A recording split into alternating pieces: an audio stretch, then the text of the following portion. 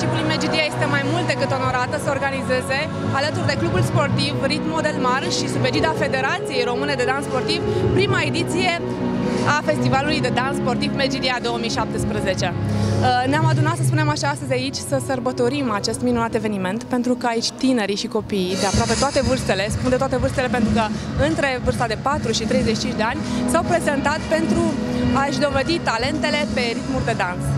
Cum v-a venit ideea organizării unui festival de dans sportiv la Medgidia? Ideea acestui concurs a venit uh, în momentul în care noi, în anul 2015, uh, am uh, deschis uh, filiala Ritmo del Mar Megidia. Bineînțeles că a fost o idee foarte bună și în 2017 am, reu- am reușit cu sprijinul primăriei și cu sprijinul domnului primar Valentin Vrabie pentru acest sprijin îi mulțumesc pe această cale să facem acest concurs uh, la începutul lunii septembrie. Este vorba despre un concurs regional. Urmărim uh, anul viitor sau uh, peste 2 ani să facem acest concurs național sau poate chiar, de ce nu, internațional.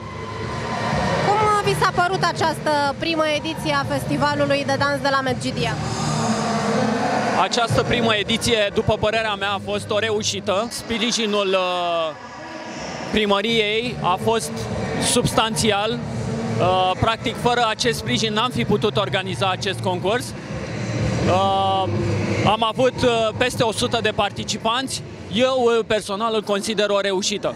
Cum vi se pare ideea organizării unui festival de dans sportiv la Medgidia? Extraordinară! Nu a mai fost niciodată un concurs organizat la Megidia. Până acum clubul nostru a organizat concurs numai în Constanța, iar uh, aceasta este prima ediție și noi suntem foarte încântați să concurăm.